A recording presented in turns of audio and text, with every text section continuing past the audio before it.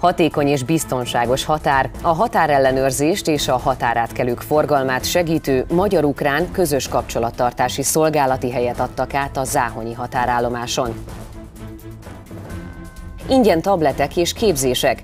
Nyíregyháza után hat Szabolcs-Szatmár Bereg megyei járásra is kiterjesztik a Digitális Jólét Program kísérleti alprogramját. Nyírségvizes fejlesztések. Mintegy másfél milliárd forintot fordít majd fejlesztésekre a társaság.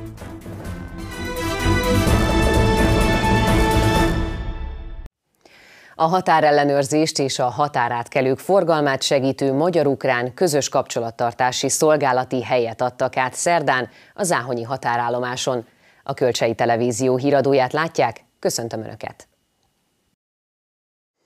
Az átkelőhely egyik épületében kialakított szolgálati hely a bűncselekmények megelőzésében, felderítésében, valamint a magyar-ukrán határátkelőhelyek forgalmának szabályozásában és ellenőrzésében nyújt segítséget.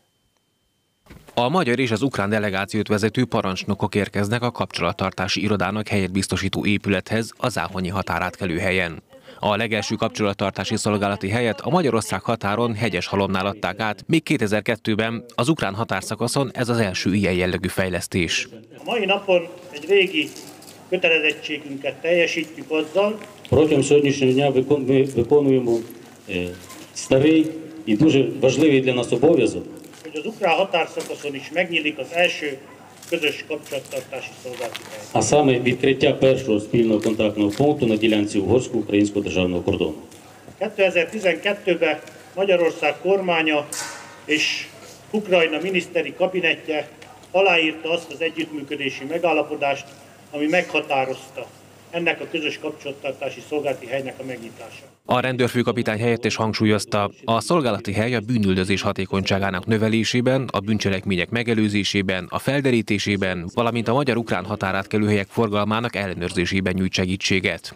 Az ukrán parancsnok arról beszélt, a fejlesztés segít operatívan megoldani a határőrizetben felmerülő kérdéseket, megakadályozni az illegális migrációt, a csempészetet és a terrorizmust. Ми сьогодні разом з вами Ma együtt önökkel демонструємо черговий крок з- megmutatjuk a soron következő lépést, з реалізації дорожньої карти az útvonal megvalósításában, українсько-європейського співробітництва, ami az ukrán és az Európai Uniós együttműködést jelenti. яка була створена на доручення президента України Ezt meghatározták nekünk országunk vezetői, за підтримки уряду України, amit Ukrajna kormánya is за támogatott, підтримки наших колег з Європейського Союзу, І що в тому Зуніо- числі і тих, які тут присутні. és az Európai Uniós kollégák is támogattak, azok, akik itt vannak ma jelen. Az éjjel-nappal működő szervezeti egységben Magyarország és Ukrajna rendőrségi és határőrizeti szakemberei, valamint a Nemzeti Adó és Vámhivatal munkatársai látnak el szolgálatot. A záhonyi beruházás része a három magyar-ukrán határállomás fejlesztését célzó, több mint 2,3 milliárd forint költségvetésű, hatékony és biztonságos határ Magyarország és Ukrajna között című uniós támogatású programnak. Nyíregyháza után hat Szabolcs-Szatmár Bereg megyei járásra is kiterjesztik a Digitális Jólét program lakossági eszköztámogatást célzó kísérleti alprogramját. A 330 millió forint értékű projektben 2400 notebookot és 400 tabletet kaphatnak a járások településein élők, akiknek emellett digitális kompetenciát fejlesztő díjmentes képzéseket is indítanak.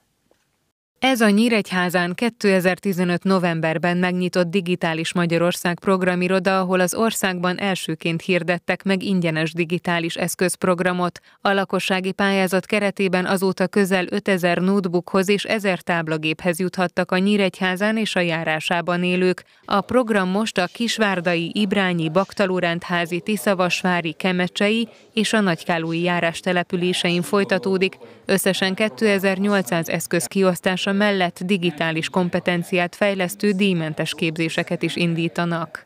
A mindennapokban az emberek mindennapjaiba hozza be a digitális eszközöket, a digitális tudást. Úgyhogy ebben a hat járásban, ahová most kiterjesztjük a digitális jólét programot, eszközhöz juthatnak a rászorulók, valamint ingyenes képzésben vehetnek részt. Egyébként ez feltétele is az eszközökhöz való hozzájutásnak. Természetesen ez a két legfontosabb eleme a digitális jólét programnak, de emellett számos pályázati lehetőség nyílik meg mind a vállalkozók, mind a lakosság számára. Az eszközökhöz pályázat útján lehet hozzájutni, a kiírás szerint azok pályázhatnak, akik a kijelölt járások településeinek valamelyikén bejelentett állandó lakcímmel vagy tartózkodási helyen rendelkeznek. A célcsoportok között a nagycsaládosok, a gyermeküket egyedül nevelő szülők, a megváltozott munkaképességűek, fogyatékkal élők, a nyilvántartott álláskeresők, a közfoglalkoztatási programban résztvevők, valamint a 45 év feletti munkavállalók és az aktív idősek szerep szerepelnek. Kisvárda örömmel csatlakozott ez a programhoz. Nagyon fontos az, hogy a, a digitális írástudás a rászoruló emberek számára is elérhető legyen. Ahhoz, hogy elérhető legyen, nyilván ez szükséges, hogy rendelkezzenek laptoppal, tablettal, és legyen egy olyan környezet, ahol ezt meg is tanulhatják, tudják használni. A pályázati lehetőség február 13-án nyílik meg, és két hónapig tart. A részletes feltételekről a www.emagyarország.hu per pályázat oldalon lehet tájékozódni. Több mint 8 milliárd forintos bevétellel zárta a 2016-os évet a Nyírségvíz ZRT. A társaság az összeg 20%-át, mintegy másfél milliárd forintot fordít majd fejlesztésekre, hangzott el a cég sajtótájékoztatóján. Szabó Istvánné vezérigazgató kiemelte, közel 90 településen 139 ezer felhasználónak biztosítják az ivóvizet. Eredményes évet zárt a Vaja Nyírségvíz ZRT, közölte a társaság vezérigazgatója Szabó Istvánni. Az ország 41 vízi közműtársulata közül a Nyíregyházi a tizedik legnagyobb. 86 település ivóvízellátásáról gondoskodik, 67 településen pedig szennyvízszolgáltatást is biztosít. 2016-ban a Nyírségvíz összesen 628 főt alkalmazott, így a megye hetedik legnagyobb foglalkoztató cége volt, hangzott el a tájékoztatón. Tavaly 15 millió köbméter vizet értékesítettek, 1047 millió számla alapján a bevételük meghaladta a 8 milliárd forintot. Az alaptevékenység részesedése az 85%-os, és további bevételek szerzésére a szabad kapacitásaink erejéig van lehetőségünk. Elsősorban önkormányzatok részére végzett közmű pótlófelújító beruházások, azok elsőséget érveznek, de természetesen más megkereséseknek is eleget teszünk, illetve laborvizsgálatokat vagy speciális anyagok értékesítését is végezzük. A 8 milliárdos bevétel 20%-át körülbelül másfél milliárd forintot fejlesztésekre fordít majd a cég, hangzott el a tájékoztatón, ahol a műszaki vezérigazgató helyettes arról beszélt, a folyamatos fejlesztéseknek köszönhetően a cég teljes működési területén jó a víz minősége. A vizsgált paraméterek vonatkozásában mind, mindössze 1,6%-ban találnak kifogásoltságot. Ez országos szinten is kiemelkedő eredménynek számít.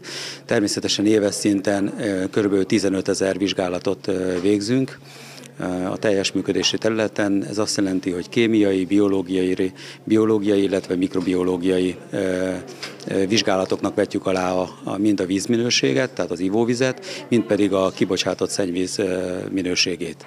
A Nyíregyházi Társaság is csatlakozott ahhoz a közös pilot projekthez, amelyben öt megyei jogú város és két budapesti kerületben úgynevezett okosmérőket tesztelnek. Erről Könnyű Zsolt gazdasági vezérigazgató helyettes beszélt. Ezek segítségével a felhasználói szokásokat vizsgálják majd, amelyekből olyan elemzés készül, ami később segíthet a környezeti károk visszaszorításában. Nyíregyházára 1200 ilyen eszköz érkezik majd, azokat önkormányzati épületekben helyezik majd el.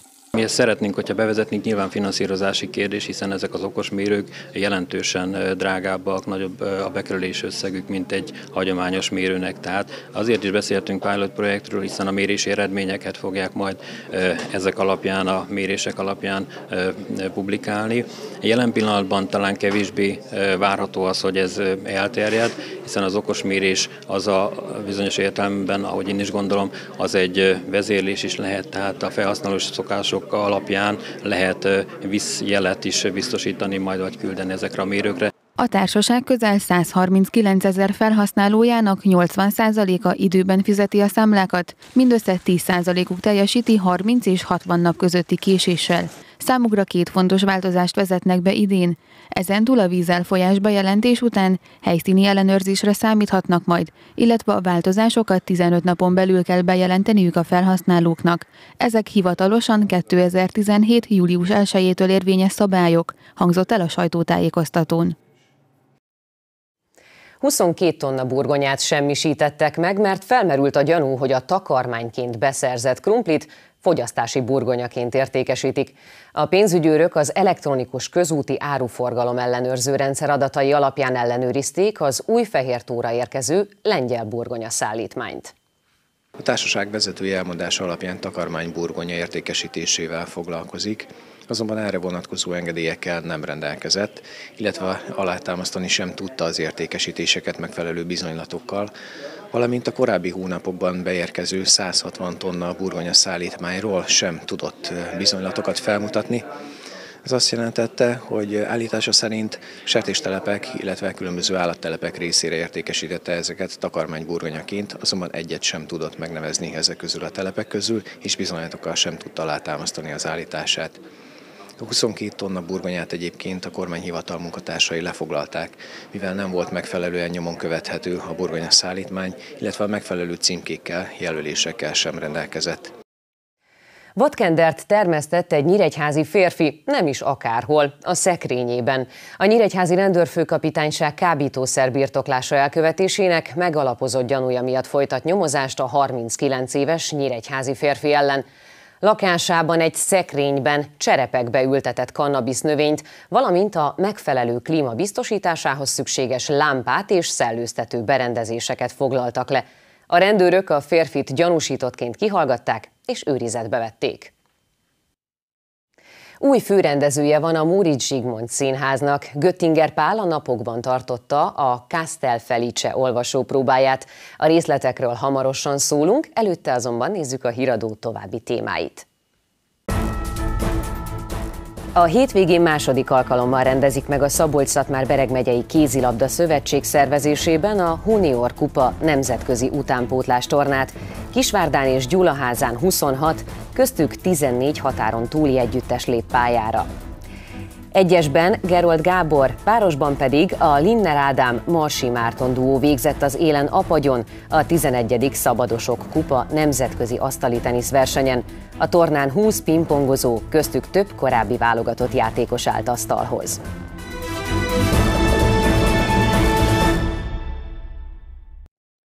Januártól Göttinger Pál a Nyíregyházi Móricz Zsigmond Színház főrendezője. A 34 éves szakember első főrendezői megbizatása a Nyíregyházi, de pályafutása során színészként többször játszott a Szabolcsi megye székhelyen. Feladata a szereposztások és az évad elrendezése lesz, de ő tartja majd a kapcsolatot a vendégtársulatokkal és rendezőkkel is. A Castel Felice című előadás olvasópróbáját tartják a színészek a főrendező vezetésével. Göttinger Pál a Színház és Filmművészeti Egyetem színházrendező szakán végzett 2007-ben, 2010-ben tagja volt a POST szakmai zsűriének. Szakmai gyakorlatát a Radnóti Miklós Színházban, Lengyelországban és Angliában szerezte meg, ezután szabadúszóként dolgozott. A nyíregyháziak már ismerhetik, korábban a Vidor Fesztiválon játszott színészként, most pedig főrendezőként dolgozik a megyeszékhelyen. Ez egy számon kérhető munka, amit én végzek. A, szereposztások, illetve az évad elrendezése a fő munka, illetve az egyes produkciókkal kapcsolatban a vendégrendezők és a színház közötti kapcsolattartás, vagy valamelyes szakmai felügyelete az itt zajló munkának.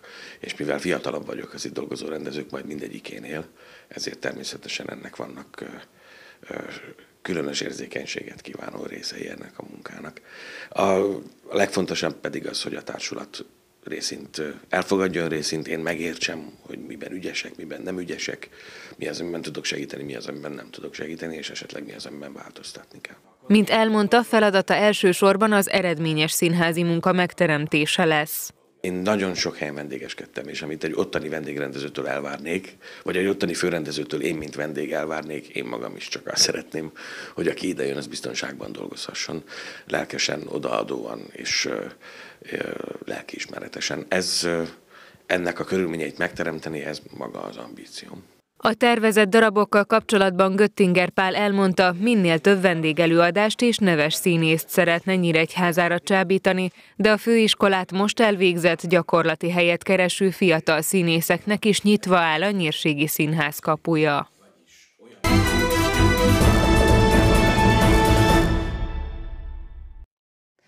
A hétvégén második alkalommal rendezik meg a Szabolcs-Szatmár-Bereg megyei kézilabda szövetség szervezésében a Hunior Kupa nemzetközi utánpótlás tornát. Kisvárdán és Gyulaházán 26, köztük 14 határon túli együttes lép pályára. A megyei szövetség először két évvel ezelőtt rendezte meg a Hunior kupát, amelyen akkor a magyar csapatok mellett szlovák, ukrán és román együttesek is pályára léptek. A rendezvény sikeres volt, így a szervezők a folytatás mellett döntöttek. A hétvégén a lányok a 15 és 17 éves korosztályban, a fiúk pedig a 16 és 20 éves korosztályban mérik össze tudásukat a megye három sportcsarnokában. A résztvevő nemzetek száma is bővült, mivel lengyel csapat is nevezett a tornára. A második Hunior kupa, amely Kisvárdán, illetve Gyulaházán lesz majd megrendezve. Az már öt ország részvételével zajló nemzetközi torna, és bízunk benne, hogy ez a 26 csapat, amelynek a túlnyomó része azért elmondható, hogy határon túlról érkezik, hiszen 14 csapat az, aki határon túlról érkezik, majd egy olyan színvonalú tornát fog produkálni, amely mind a szurkolóknak, mind a szakmai stábnak, és természetesen mindazoknak, hiszen majd 400 gyerekről beszélünk, aki ez alatt a három nap alatt kézilabdázni fog, olyan élményeket, olyan szakmai munkát és eredményeket fog majd biztosítani, amely, amely, amely után méltán fognak majd úgy emlékezni Szabolcs-Szatmár-Bereg megyére, Kisvádára és Gyulaházára, hogy itt bizony nagyon jó volt játszani, és, és nagyon jó emlékekkel térnek majd haza. A tornán nem csak a játékosok, hanem a játékvezetők is számot adhatnak tudásukról, ugyanis a megyei szövetség által elindított játékvezetői utánpótlás mentorprogramban résztvevő fiatalok vezetik majd a meccseket. Igyekszünk minden olyan játékvezetőnek lehetőséget adni egyébként, akik igyekeznek a felteresztések során minél magasabb kerettagságba kerülni. 25-30 olyan játékvezető van, akire ilyenkor igényt tartunk, és igyekszünk semleges játékvezetőket is biztosítani, hogyha esetleg a tornán olyan csapatok vannak, amelyek megyebeliek, de mindenképpen nagy lehetősége számukra, hiszen olyan játékélményekkel tudnak gazdagodni, amelyek majd a karrierépítésüknél, a játékvezetői karrierépítésüknél majd biztos, hogy számottevőek lesznek. A torna első meccse pénteken 15 órakor kezdődik a Kisvárdai Szent László gimnázium sportcsarnokában. A csoportmeccseknek szombaton még a Gyulaházi sportcsarnok és a Kisvárdai sportcsarnok ad otthont. A helyosztókat vasárnap délelőtt, a döntőket pedig vasárnap délután rendezik a Kisvárdai Városi Sportcsarnokban. Egyesben Gerold Gábor, párosban pedig a Linner Ádám Marsi Márton duó végzett az élen apagyon a 11. Szabadosok Kupa nemzetközi asztali versenyen. A tornán 20 pingpongozó köztük több korábbi válogatott játékos állt asztalhoz. Az elmúlt egy évtizedben az egyik legrangosabb hazai versenyén nőtte ki magát az Apagyi torna, amely a legmagasabban jegyzett magyar játékosok között is népszerű. A tavalyi 30 szemben idén mégiscsak 20 álltak asztalhoz az Rinyi Ilona általános iskola torna termében. A szlovákiai nagykaposról és a romániai szatmárnémetiből érkező vendégeknek köszönhetően ismét nemzetközi volt a mezőny, amelynek minőségére ezúttal sem panaszkodhattak a szervezők. Ebbe az időpontban ugye egy World Tour versenyt rendeznek Budapesten, közben jöttek olyan események, ami ugye időjárás befolyásoló tényező Romániába, ugye kint székülve helyiek nem tudtak eljönni, de ennek ellenére a, a játékosoknak a többsége azért már volt itt. Van új játékos is, aki még most előső szerepen nálunk a BVSC-ből, a Dopingnam személyében egy kis fiatal srác, aki nagyon ügyesen játszik, és elmondhatjuk, hogy megint színvonalas lesz így a bajnokság, mert az élmezőny az itt van megszokott Linner, Párosi, Gerold, Marsi csapat alap, és az ifjúsági válogatott Falvi Gergővel kiegészülve nagyon jó hatos hát, csapat jött össze. A torna négyszeres egyéni győztese Marsi Márton a német ötödosztályban játékosként, a BVSC Zuglónál pedig vezetőedzőként szolgálja a sportágat. A korábbi válogatott pingpongozó elmondta, már nem csinál presztis kérdést abból, hogy az ő nyakába kerüljön az aranyérem. Én mindent megpróbálok megtenni, de tehát akkor is nyugodt fejjel fogom lehajtani a fejemet, hogyha nem sikerül győznöm. Én azt gondolom, hogy az a fontos, hogy itt egy jó légkörbe jó meccseket játszunk, és próbáljuk kiszolgálni az itteni közönséget is, és mindenki jól érezze magát. A szintén négyszeres egyéni győztes Linden Ádám az Extraliga címvédőjének éljátékosaként a tavaszi bajnoki meccsekre való felkészülésre is felhasználta az apagyi tornát. Celdömök csapatával szeretnénk megvédeni a bajnoki címünket. Tavaly sikerült megnyernünk, a pécsieket vertük a döntőbe. Jelenleg az alapszakaszban nem állunk olyan jól, de, de azért valahogy beverekedjük magunkat a rájátszásba, és akkor ott, ott azért reményeim szerint sikerül megismételnünk a tavalyi bajnoki címünket. A 11. Szabadosok kupát egyesben a szegedi színekben induló Gerold Gábor nyerte, miután a döntőben három egyre verte Linder Ádámot. Párosban a Linder Marsi duó a döntőben három egyre bizonyult jobbnak az EGRI Pálosi Tinfalvi kettősnél. Híradunk végén nézzük a legfontosabb híreket még egyszer, röviden. A határellenőrzést és a határátkelők forgalmát segítő magyar-ukrán közös kapcsolattartási szolgálati helyet adtak át szerdán a Záhonyi határállomáson. A szolgálati hely a bűncselekmények megelőzésében, felderítésében, valamint a magyar-ukrán határátkelő helyek forgalmának szabályozásában és ellenőrzésében nyújt segítséget. Nyíregyháza után hat Szabolcs-Szatmár-Bereg megyei járásra is kiterjesztik a Digitális Jólét program lakossági eszköztámogatást célzó kísérleti alprogramját. A projekten belül többek között notebookokat és tableteket kaphatnak a járások településein élők. Több mint 8 milliárd forintos bevétellel zárta a 2016-os évet a Nyírségvíz ZRT. A közel 90 településen 139 ezer felhasználónak ivóvizet biztosító társaság az összeg 20%-át, mintegy másfél milliárd forintot fordít majd fejlesztésekre.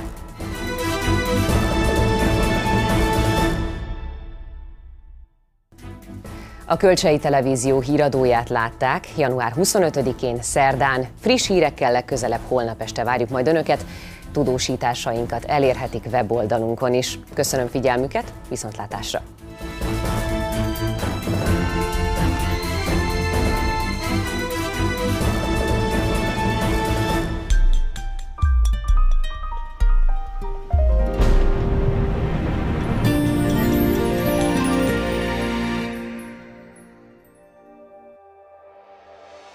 Holnap napos időre számíthatunk. Egy észak felől érkező hidegfront súrolja térségünket, mögötte hideg, szárazabb léghullámok érkeznek fölénk. Az éjjel párás lesz a levegő, több felé zúzmarásköd is képződhet. A változó irányú szél gyenge marad, reggelre általában mínusz 12 fokig csökken a hőmérséklet. Holnap napközben többnyire gyengén felhős napos idő várható, az úzmarásköd fokozatosan feloszlik, kitisztul az idő, csapadék nem lesz. Mérsékelt lesz az északkeleti eszél. Délutánra mínusz két fokig emelkedik a hőmérséklet, gyenge hidegfronti hatás van térségünkben. Péntektől ismét hideg téli időre van kilátás. Többnyire párás lesz a levegő, napos és ködös tájak egyaránt lesznek térségünkben. Jelentős csapadék továbbra sem várható, de ónosztitálás, hószálingózás előfordulhat. A jövő héten a kelet felé vonuló időjárási frontok miatt változékonyabbra, kisé enyhébre fordul az idő.